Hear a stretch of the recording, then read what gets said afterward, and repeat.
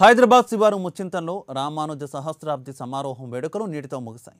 వేడుకల్లో చివరి రోజైన ఇవాళ యాగశాలలోని సహస్రకుండాల శ్రీ లక్ష్మీనారాయణ యజ్ఞానికి మహాపూర్ణాహుతి నిర్వహించారు. వందలాది మంది ఋత్విక్కులు వేలాది మంది భక్తుల సమక్షంలో చినజీయర్ స్వామి లక్ష్మీనారాయణ మహాయాగాన్ని ముగించారు. మహాయాగంలో కేంద్ర మంత్రి పాల్గొన్నారు.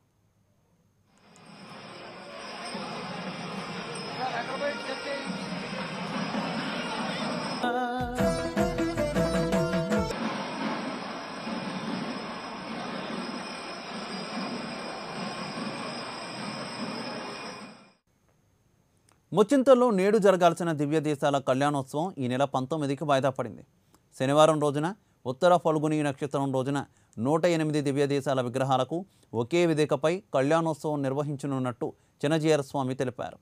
కళ్యాణోత్సవానికి సీఎం కేసీఆర్ ముఖ్య అతిథిగా హాజరు కానున్నారు.